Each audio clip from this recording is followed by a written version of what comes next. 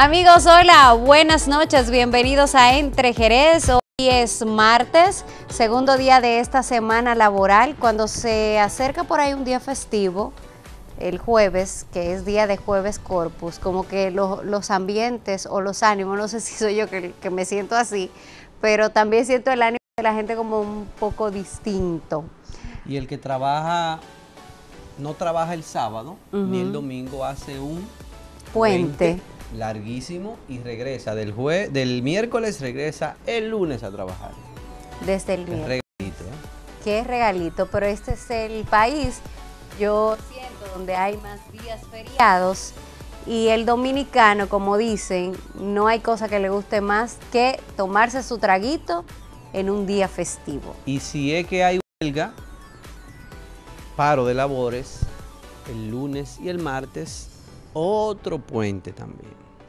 Cada día dele gracias a Dios porque está vivo y tiene salud, que es lo más importante. Jerez Grupo Creativo produce este espacio de Entre Jerez. Bienvenidos. La provincia de Espaillá fue constituida originalmente por las comunas de San Francisco de Macorís, San Antonio del Yuna, Matanzas, Nagua, Juan Núñez, Salcedo y Moca como común cabecera el 28 de mayo de 1885 por resolución del Congreso Nacional del Gobierno presidido por don Alejandro Bosch y Gil.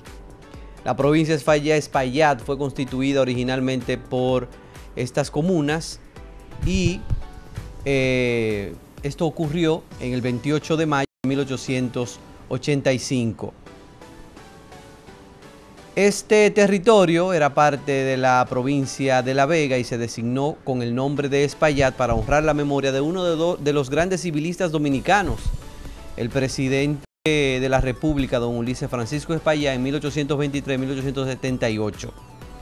Moca, la común cabecera de la provincia Espaillat, era una provincia del cacicazgo de Maguá. Esto es así según el historiador José Gabriel García, como parte de sus memorias para la historia de Quisqueya. Se cree que para el año 1700 fue cuando se produjo el primer asentamiento en lo que hoy se denomina la ciudad de Moca. Este asentamiento fue en la sección de la ermita, el cual no se conoce mucho.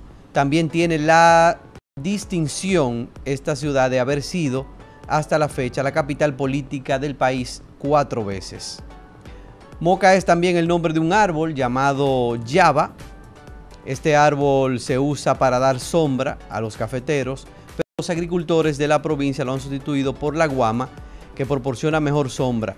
Quizás sea esta por será, será por esta circunstancia que se afirma que la palabra moca significa sombra del árbol. Una fecha muy importante en el día de hoy, el 28 de mayo de 1865, por resolución del Congreso Nacional, se designó el nombre a la provincia Espaillat.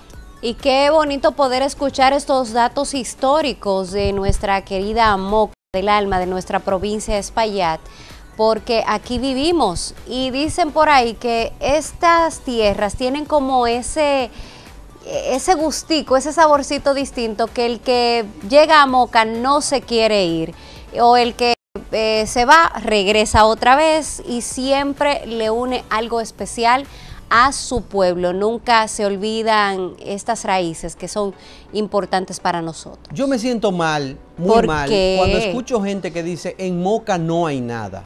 Señores, pero usted nada más tiene que salir a caminar.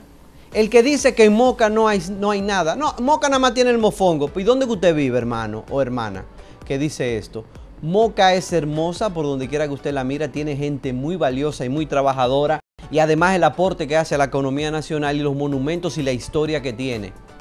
Entonces no me diga usted, y eso me, me, enfofora como dicen por ahí, que diga que Moca no tiene nada. Pero no solamente nosotros salir a caminar en sus sino poder ver tanto talento que hay en nuestro pueblo, dígase de artistas plásticos, de cantantes, eh, de, buena televisión que se hace aquí, buena comunicación. Moca cuenta con gente, gente muy positiva, pero también personas hospitalarias que tienen un trato muy especial para todo aquel que nos visita. Y la valentía de los mocanos, ¿eh?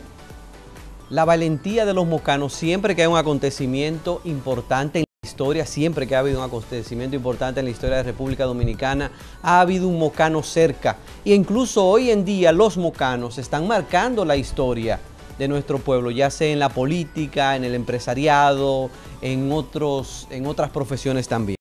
Por ejemplo, en la mañana de hoy se estuvo desarrollando un tributo al patriota Vicente de la Maza, participante directo de dos tiranicidios, o sea que participó en el tiranicidio a Lilis y también participó en el tiranicidio contra Trujillo, en donde se involucraron en ambos mocanos de, de alta valía que en parte sacrificaron su familia, sacrificaron sus negocios para darle la libertad a nuestro pueblo. Esto fue en la mañana de hoy.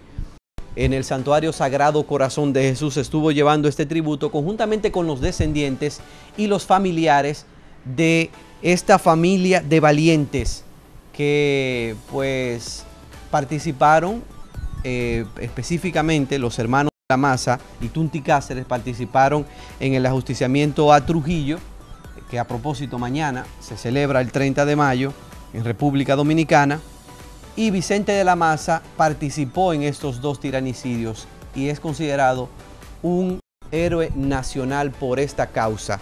La Oficina Senatorial de la provincia de Espaillat y la Fundación Hermanos de la Maza realizó estas actividades conjuntamente con los centros educativos de este municipio de Moca para proclamar, cada institución que estuvo ahí proclamó a Vicente de la Maza como un héroe y lo van a tomar como ejemplo los jóvenes de hoy en día en cada una de estas instituciones educativas. Como vieron ustedes nuestras primeras imágenes, se llevó a cabo una misa y luego pues eh, se trasladaron al eh, Teatro Don Bosco donde continuó este tributo al patriota Vicente de la Maza.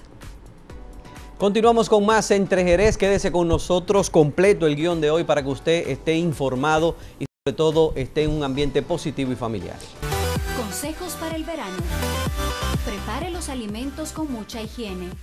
Durante el verano aparecen con mayor frecuencia esas infecciones e intoxicaciones que tienen como principal síntoma la diarrea. Por lo general, su origen se encuentra en alimentos que no han sufrido una correcta preparación o conservación. Las frutas y verduras que se consumen crudas, como manzanas, mango, lechuga o tomate, deben lavarse adecuadamente antes de su consumo con abundante agua corriente. Entre Jerez.